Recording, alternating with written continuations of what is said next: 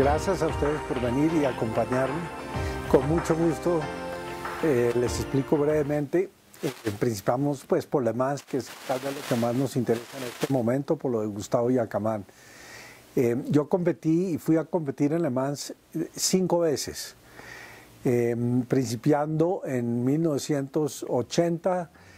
hubo un año en que no pude ni ponerme el uniforme porque el carro fue destruido por el copiloto con quien iba a conducir pero las veces que lo hice fue con el equipo de siempre de Reinhold Joest, que es eh, considerado hoy día, le dicen Mr. Le Mans, porque ha ganado Le Mans 13 veces.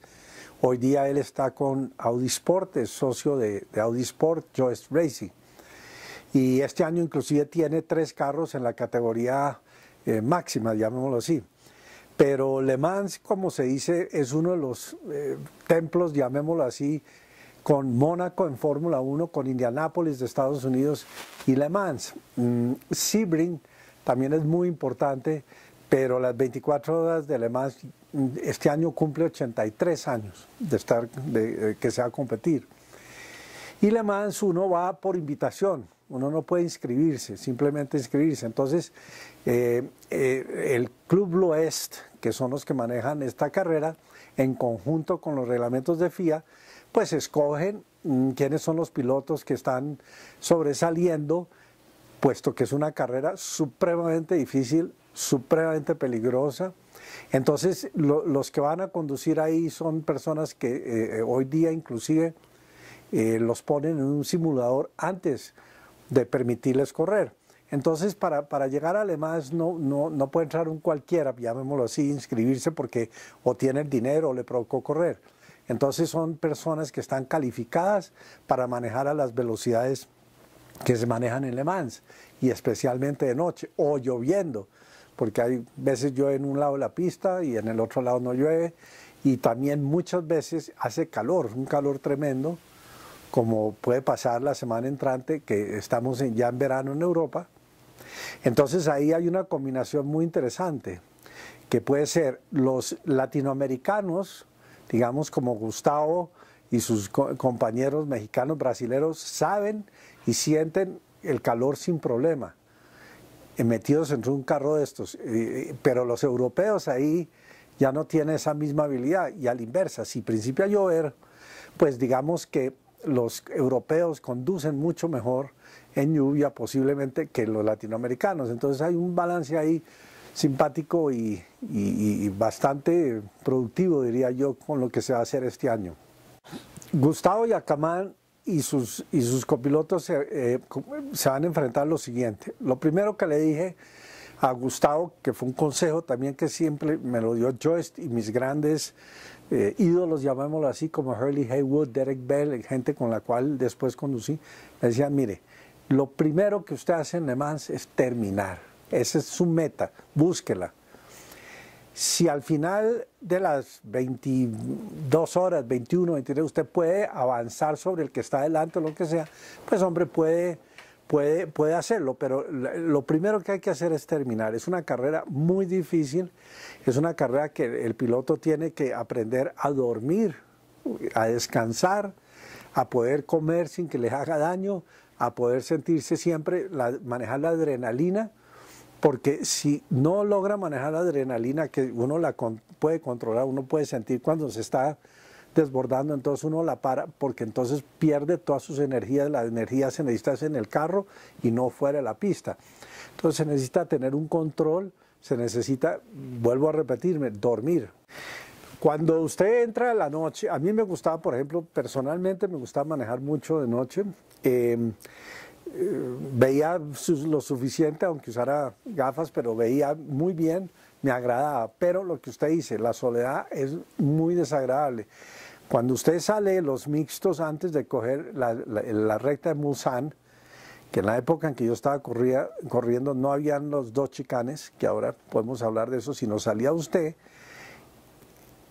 inmediatamente aceleraba, estos carros aceleraban rapidísimo, a 390 kilómetros, usted sale, se, asegura de que los cinturones que se han aflojado un poco entre los mixtos y sale usted por esa recta y usted principia a oír, se me ha zafado una rueda, se me va a romper la suspensión, se me va a explotar el motor, ¿qué va a pasar? Y usted se atraviesa esos 5 o 6 kilómetros, que hoy día ya no es permitido hacer eso, ya tiene la chicana, hasta que llega al final, pero de noche sí es bastante. Ahora, le repito, como unos, digamos, yo está corriendo en la categoría la, la más alta, la 1, entonces los más lentos van del lado derecho, que me, parece, me parecería muy desagradable estar en esa categoría, porque usted tiene que estar mirando para atrás y las luces que llevan estos carros son brutales.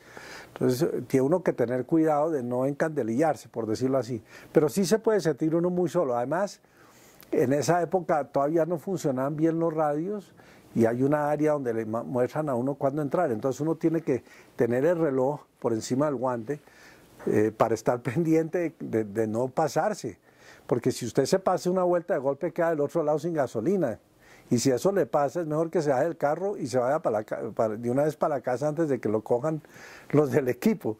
Pero mm, normalmente hoy día ya hay radios, ya hay una cantidad de tecnología que no, que no permite que eso pase. El happy hour tiene que ver con el mejor momento de temperatura. El cambio atmosférico que le ayuda, uno piensa que no, eso se mantiene igual toda la carrera, no, la verdad, eso lo nota uno en Le Mans y lo nota uno mucho en Sebring. Eh, cuando tienes el sol de frente, etcétera. Entonces ya cuando principia a cambiar la temperatura, eh, se enfría, entonces el carro va a trabajar mucho mejor, la, la cuestión atmosférica le cambia, el carro se siente mejor, el piloto se siente mejor, se respira mejor y ahí los ojos son vitales para poder diferenciar entre el que puede distinguir qué está pasando con la luz y qué no está pasando con la luz. Eso es, importantísimo porque al, cambio, al cambiar la luz, ya uno tiene que buscar cómo va a seguir tomando las curvas en la mejor forma posible y a lo mejor ya no puede eh, identificarlas, no digo verlas porque pues las va a seguir viendo, pero identificarlas por los cambios de luz y todo eso. Eh, claro que el happy hour afecta y ahí es donde se van para adelante muchísimos de estos, de estos pilotos, indudablemente. Bueno, importantísimo lo que usted dijo. Cada eh, tipo de automóvil o categoría o, fórmula, lo que sea, tiene su, su estilo de manejo. Eh, me desvío un poco. El que maneja Fórmula 1, eh, por ejemplo, se salió a manejar rallies y no le fue bien. Eh, Mark Webber ahorita está manejando para Porsche en Le Mans, va a manejar para Porsche. Pero el que maneja Fórmula 1 no, no, necesariamente es bueno para rallies ni necesariamente es bueno para, para duración. Eh, Gustavo tiene la edad, indudablemente, si no me equivoco, tiene 24 años. Ya probó lo que son 24 horas en Daytona. Eh, ya corrió las 6 horas de, Spa, creo que fue, etcétera, y él está punteando. Entonces ya ha experimentado lo que es eh, duración.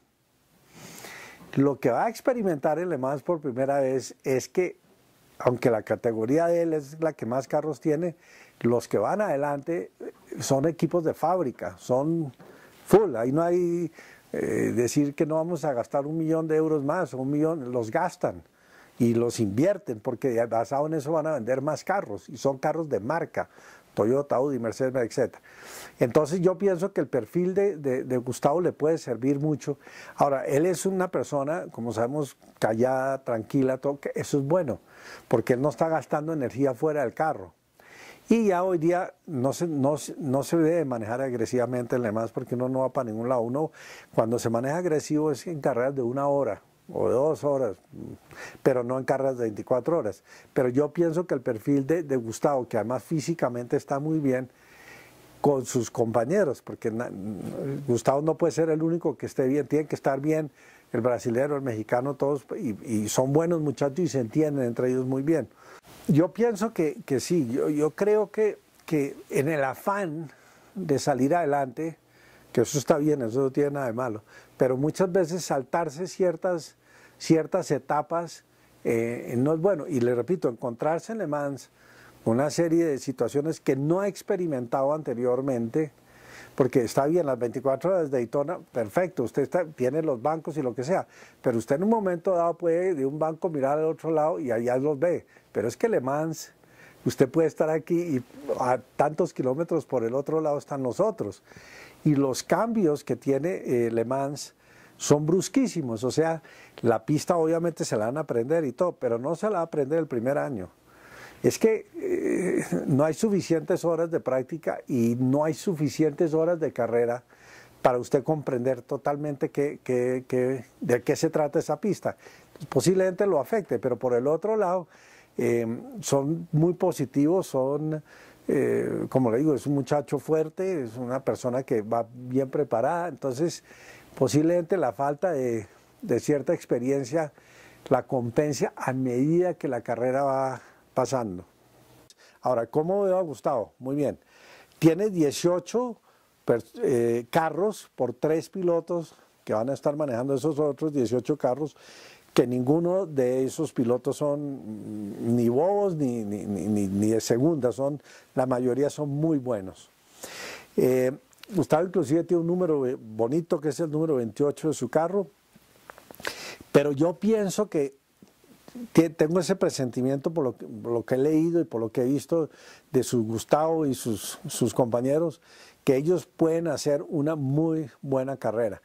Eh, la clasificación en Le Mans, hombre, sí, dice un poco, pero no es una cosa del otro mundo porque pues usted en 24 horas usted, eh, puede principar de último como acaba de hacer BTL ahorita en Fórmula 9 y quedar de cuarto quinto y más en 24 horas.